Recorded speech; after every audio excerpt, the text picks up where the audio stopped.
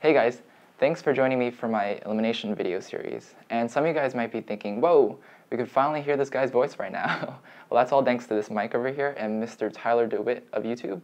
He, uh, he's a friend of mine who goes to MIT and he makes general chemistry videos on his channel, and the link of which is right here, so you guys should definitely check it out. And I'm going to be talking a little bit more about Tyler and this mic and some other updates and news in my second vlog, or second vlog attempt. But uh, yeah, so that's going to be coming out soon. If you guys want to get updated when I make that um, video, make sure you guys hit the subscribe button. But anyway, back to my video series. So this video series is meant to be a continuation of my SN2 and SN1 video series. Okay, so if you guys haven't checked out that video series yet, you want to watch it first before watching this one, or else the next couple of minutes are going to be kind of like, whoa, what in the world is happening? Or what the heck is this guy talking about? Because I'm going to be making a lot of references back to SN2 and SN1.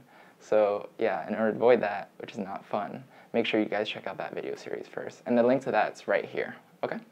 So in this video, what I want to first do is show you guys some key features of elimination reactions and what makes them different from S substitution reactions. All right, and then in part two and part three of my video series, I'm going to be going over the mechanisms of E2 and E1, and then from there, I'm going to go a little bit more in depth and show you guys some key differences between SN2, E2, SN1, and E1. And also, uh, there are some things that might not be fully explained in this first part because it's just meant to be an overview.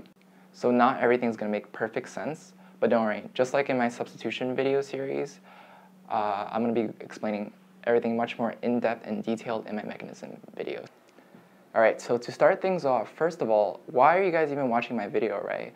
Why are we even, why do we even have to learn about elimination reactions? Well, you guys probably should have already first learned about substitution reactions. And if you watched my previous video series, in a substitution reaction, you have a nice long and thin nucleophile that attacks or substitutes in to a carbon that's attached to a leaving group, which is usually a halide like chlorine.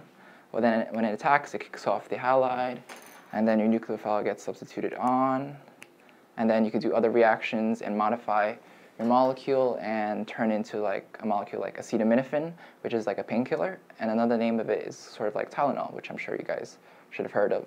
But yeah, so that's in that situation we have a we have great characteristics that help us carry out a substitution reaction. Our carbon is nice and accessible because these bars here pretend them pretend pretend like they are just um, hydrogens. They're really really small. They're not really blocking your carbon. Your nucleophile attacked very very easily. But now, if you take a look at my example over here, right? The carbon with the with the leaving group this one right here, it's tertiary and it's not as accessible as before because it's all blocked up by these carbons around it. And then if you take a look at the molecular form, it's pretty crazy. so you have your leaving group chlorine uh, dash, so it's in the back. And then you have a CH3 in the front. I guess I'll have it like this, so it's kind of facing you. And then all these other molecules around it with their own electron clouds here. So the problem with this is if you have a nucleophile that's just going to try and attack and try and access this carbon right here, it's going to be very, very hard for it to actually get in there because uh, a nucleophile actually isn't this thin, and also there are actually electron clouds around each atom in my, in my model kit here. So the electron clouds are kind of act like a barrier and prevent the nucleophile from, from actually getting to the uh, carbon.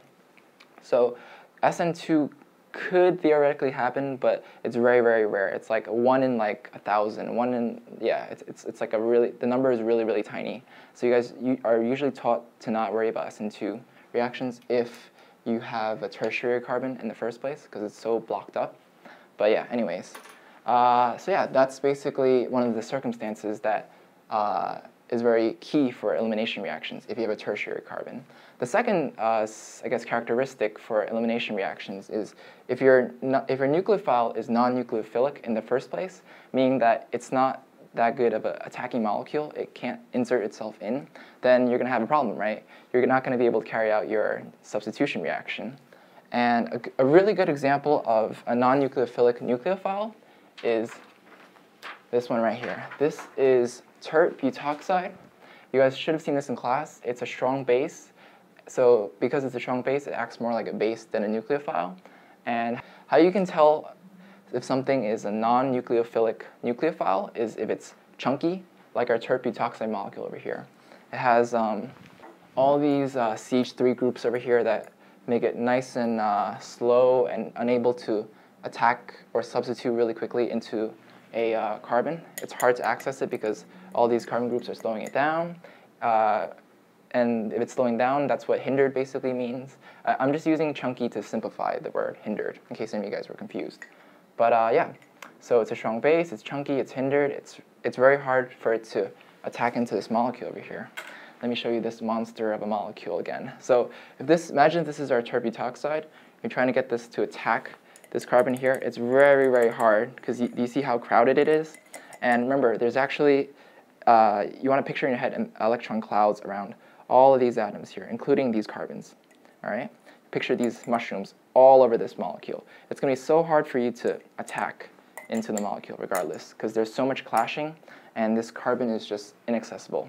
So in these situations where you have usually a tertiary carbon and uh, a non-nucleophilic nucleophile that usually acts like a base, you would have your elimination reaction.